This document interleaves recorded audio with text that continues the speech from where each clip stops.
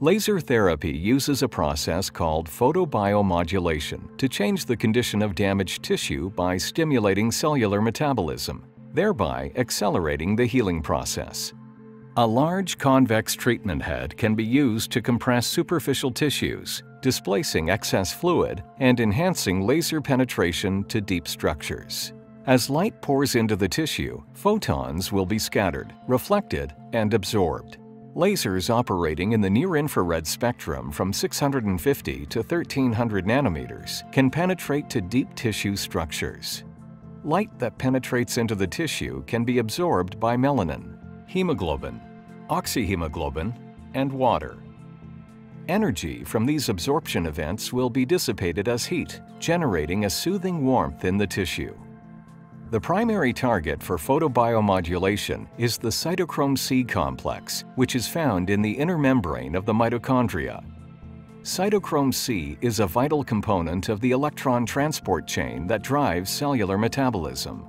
As light is absorbed, cytochrome C is stimulated, leading to increased production of ATP, the molecule that facilitates energy transfer within the cell. In addition to ATP, laser stimulation also produces free nitric oxide and reactive oxygen species. Nitric oxide is a powerful vasodilator and an important cellular signaling molecule involved in many physiological processes. Reactive oxygen species have been shown to affect many important physiological signaling pathways, including the inflammatory response. In concert, the production of these signaling molecules has been shown to induce growth factor production, to increase cell proliferation and motility, and to promote extracellular matrix deposition and pro-survival pathways.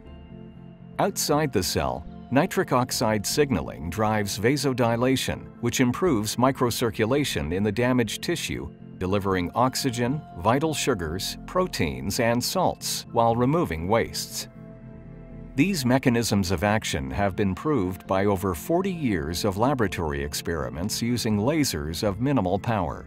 The recent development of higher power Class 4 systems affords the clinician the ability to efficiently deliver adequate doses of light deep into the tissue to reduce pain, reduce inflammation, and accelerate healing. As you can see in this illustration, the advent of Class 4 lasers makes it possible to not only apply the benefits of photobiomodulation superficially, but to also treat a greatly expanded range of conditions by delivering a clinically effective quantity of photons to cells deep within the tissue.